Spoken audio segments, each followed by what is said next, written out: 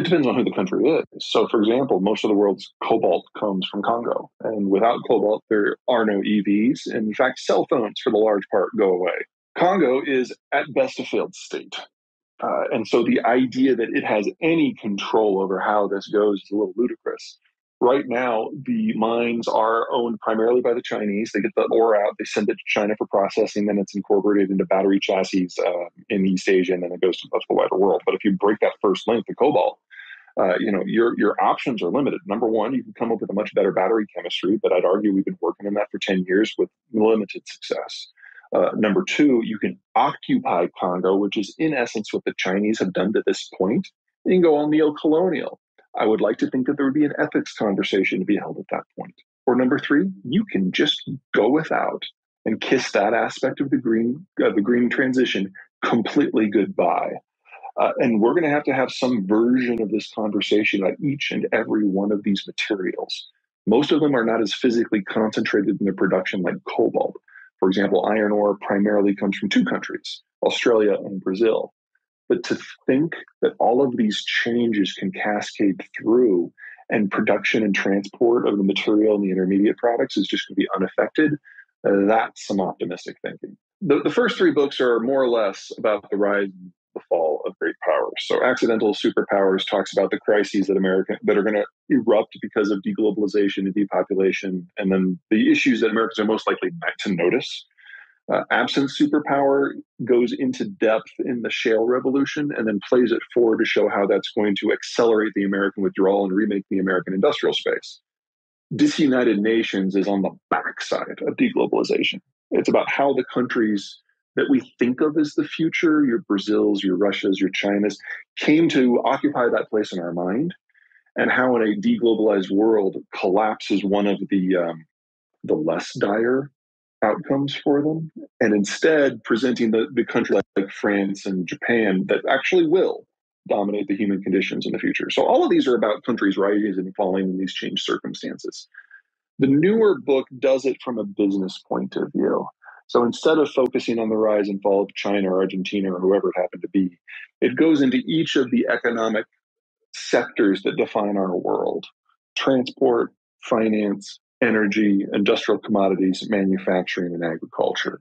Shows us how we got to this interconnected world and what that meant, how that changed space, how that changed investment opportunities, and then how everything is going to turn inside out as globalization breaks down and depopulation really drives us forward. Uh, it's different lessons for different sectors in different regions. There's a lot of stories to tell, and it's making a bit of a mess in government circles right now. Uh, let's start with the biggest concern. I don't see our narcissism and our political debates as being a geopolitical limiting factor in terms of our power projection or our future power. It absolutely limits what we're willing to consider but it doesn't actually get to the core of what allows us to be us for, for better for, for ill. Uh, so, for example, 20 years ago when 9 11 happened, we were relatively unified as a country. We were coming off to the 90s, which we thought of as a great decade. And despite the back and forth between the Democrats and the Republicans early in the W administration, we were talking about constructive things. Pre social media, that helped. 9 11 happened, that drove us together even more. And for the next 15 years, the United States, from a foreign policy view, was very active. Now, we can all say whether or not we can debate whether we thought we were active in a productive way. But the point was, there wasn't a lot of dissent within the United States about whether we should or should not be active. It's a question of how should we do it? We can't do that right now. Uh, the debates have become so fierce and so petty and so myopic that the United States at the moment cannot have a conversation with itself about foreign policy. And so, if it wasn't for Vladimir Putin making his move back in February, we probably would not be part of the global system from a discussion point of view at all.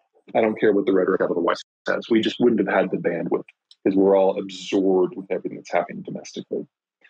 Now, in terms of things in the future that could go wrong, let me give you a couple of scenarios. I don't think any of them are high likelihood, but I think they're the things we should be concerned about. So, first, um, short term. We're facing a capital crunch. We're facing an economic transition. We know that we need to double the size of the industrial plant. That can go wrong in two ways. Number one, the government can get away in the way, and I do have some concerns about the Biden administration.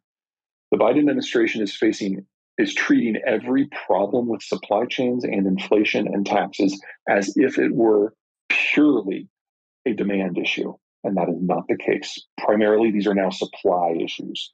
The chains are breaking down, interruptions to energy flows around the world, a decade loss of investment capital across the entire energy space, and a global agricultural system that is so precariously balanced.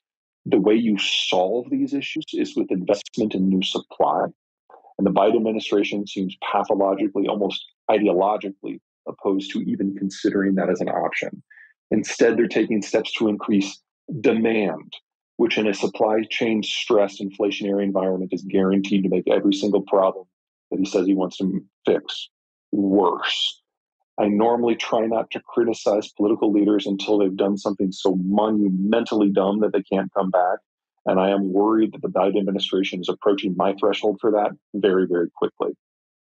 And if we fail to build out the requisite supply systems to fix these issues, we will have high inflation for a lot more than five years. So if this works and we do the build out, that is inflationary too. And we will have inflation of 9 to 15% for five years, but we will be accompanied by near record growth. If we fail to do the build out, we get all of the inflation and none of the growth, and it is not over in five years. So I'm not too concerned because it's just so obvious, but it should be obvious to the White House press corps as well, and it is not longer term. Ruling out for the moment a general nuclear exchange, which I see as exceedingly low. I think the biggest long term threat we will have is what happens when you do have a series of breakdowns around the world that shattered global manufacturing and energy and transport and agriculture. The world that emerges from that is going to be a chaotic, somewhat Darwinian place. And in that sort of environment, our problem is not someone like the United States electing somebody like Donald Trump or Joe Biden. Our problem is when a significant ethnicity or series of countries elect their version of populists. Now, this is how we get the next Joe Stalin. This is how we get the next Mao Zedong or the next Adolf Hitler or the next Pol Pot. I am very concerned about what happens to a world that deglobalization deglobalizes and the US just doesn't care. I don't have a fix for you here. The United States gets engaged for one of two reasons we see opportunity or we get scared. There's opportunity here. There is a way for the United States to remake the global condition, to remake the human condition. We've got the capacity, we've got the reach, we just don't have the bandwidth at home. And if we can rebuild that bandwidth,